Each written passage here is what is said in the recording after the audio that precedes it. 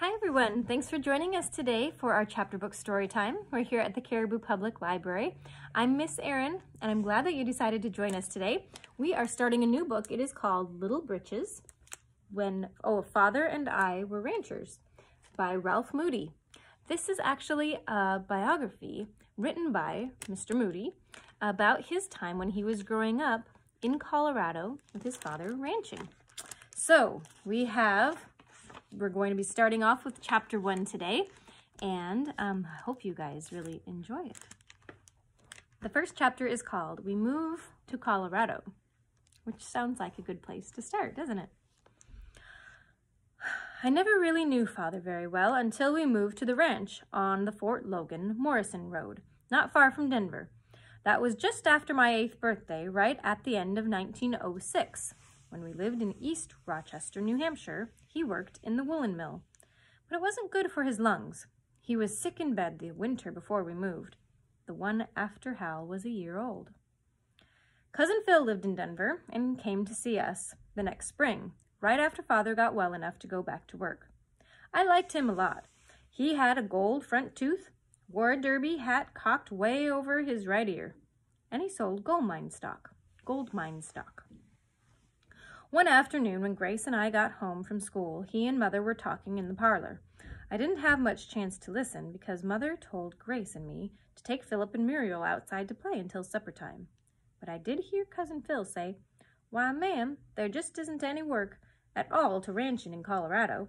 We have 365 sunshiny days in a year, and all a man has to do is toss out seed in the spring and harvest his crop in the fall.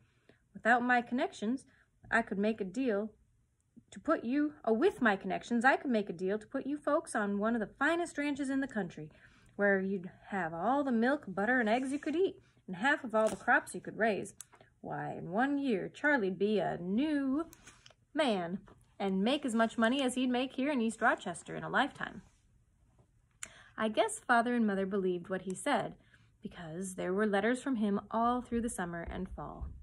Then, just after Christmas, we had our auction and took the train from, for Denver, all seven of us. Father and mother and Grace, Muriel, Philip, Hal, and I.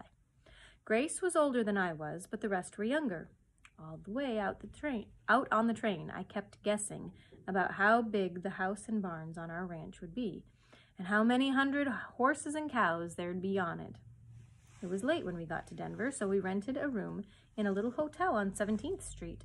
The next day, Cousin Phil lent us his rubber-tired buggy, and Prince, his sleek little seal-brown driving horse. Father let me go to see our ranch with him and Mother. I didn't really have to ask him to let me go. I guess he just knew how much I wanted to, and said to Mother, Do you think there'll be enough room for you and the baby if we squeeze Ralph in between us? We could see our new house from a couple of miles away. I knew it must be ours, because Cousin Phil had told us that it was three and a half miles west of Fort Logan, the first house on the Morrison Wagon Road. From the hill beyond the fort, it looked like a dollhouse sitting on the edge of a great big table with a brown tablecloth smoothed out flat all in front of it. It was right near the edge of the mesa where the land started dipping northward into Bear Creek Valley. Away toward the south, there were brown rolling hills, as though the tablecloth had been wrinkled a little. Not far beyond it, Toward the west, the hogbacks rose like big loaves of golden brown bread sitting on the table. High above them, the snow caps of the Rockies glistened in the afternoon sunshine. As we came near, it looked less and less like a dollhouse, and more like just what it was, a little three-room cottage that had been hauled out from Denver. It was propped up on four cribs of movers' timbers and sat at the corner of an unfenced quarter section of barren prairie land. The chimney was broken off at the roof, and most of the windows were smashed. When we turned off the wagon road, a jackrabbit leapt out from under the house and raced away through the clumps of cactus and soapweed. But it was going to be our ranch. It looked all right to me. Father and Mother didn't say a word, but when I looked up, the bunches of muscle at the sides of Father's jaws were working out and in. They always did that when he was trying not to get mad. Mother's face was as white as Hal's stocking cap and her eyes looked as though she were going to cry, but she didn't. After father tied Prince and helped mother out of the buggy, he held me up so that I could look in one of the windows. There wasn't much to see, except that the floor was covered with broken glass, and plaster had fallen off the walls and ceiling. While I was still looking in the window, Mother said, Charlie, I don't see how in the world we can do it with only $387. I thought, of course, there'd be good buildings and stock and machinery on it. We've got a lot of planning to do. Her voice sounded hoarse and seemed to be coming from way down in her throat. Father didn't say anything until he had stood me down and taken Hal for Mother. Then he put his arm around her shoulder and hugged her up against him. Father was real tall but slim, and Mother's head fitted in under his chin. Only one thing to plan about, ma'am, he said. Oh, mammy. And said, that's get and that's getting tickets home while we've still got the money. I won't have you live in any such godforsaken place as this.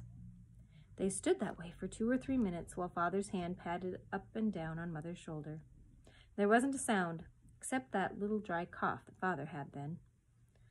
When Mother lifted her head, her lips were pressed tightly together, and her voice wasn't trembly any more. The Bible says, Trust in the Lord and do good, so that shalt thou dwell in the land, and verily thou shalt be fed. The hand of God has led us here. We shall have, our, have set our shoulders to the wheel, and we will not turn back. The next two days were not good ones for me. We stayed right in the hotel room, and Father was away from early in the morning until long after dark. There was nothing for us children to do, and I guess we made Mother nervous. Grace and I had two or three squabbles. She was the oldest, nearly two years older, and always smarter than I, and I always got the spankings. When father came in the second night, mother said, Ralph can neither stay out of mischief himself nor let any of the others. I declare I shall go frantic if I have to have him cooped up in this little room another day. Father didn't scold me at all, though. He just put his arm around mother's shoulder and said, There, there, mammy. I know it. I know hard how hard it is for all of you. We'll get out of here just as soon as we can.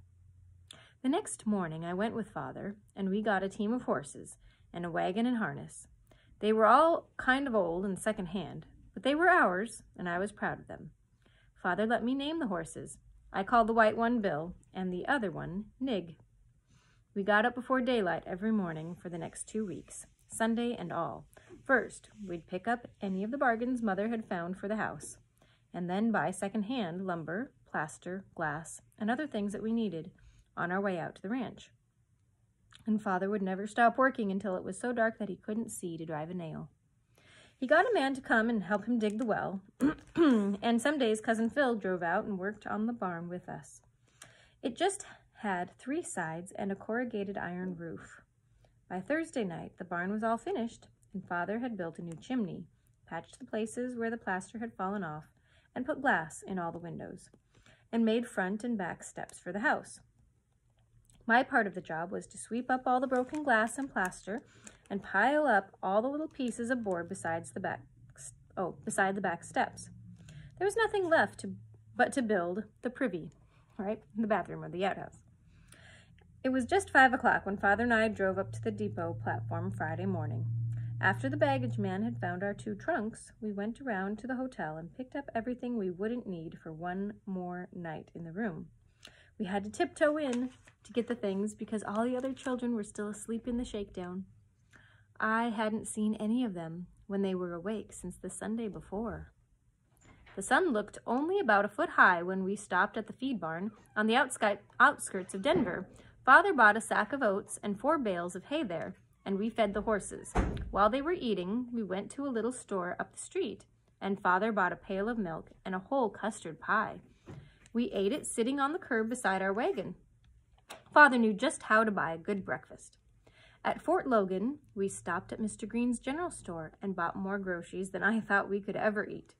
There was a barrel of flour and a hundred-pound sack of navy beans, and salt pork, molasses, sugar, rice, and a whole case of evaporated milk.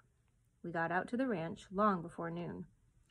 Cousin Phil drove out that afternoon and helped us with the privy. Father sawed the two-by-fours and spiked them together. Then, while he was making the door and the seat, Cousin Phil cut cupboards, cut boards, and nailed them to the sides of the roof. He cut some of them too long and some too short. After a while, he tossed the folding ruler over to Father and said, This confounded rule ain't accurate, ain't accurate, Charlie. Father folded the ruler up and put it in his pocket. He didn't say anything until Cousin Phil had gone for another board. And then he said to me, If you just remember to measure twice and saw once, you'll get along all right. The last thing we did was to tie Bill and Nig in their new barn, and Father hung the harness on spikes that he had driven high up on the barn wall. He said that was so the coyotes wouldn't gnaw on them during the night. The sun had gone down, and the whole sky beyond the mountains looked as though it were on fire. I looked back at our ranch as Cousin Phil drove us into Denver, and I wouldn't have traded it for anything else on earth.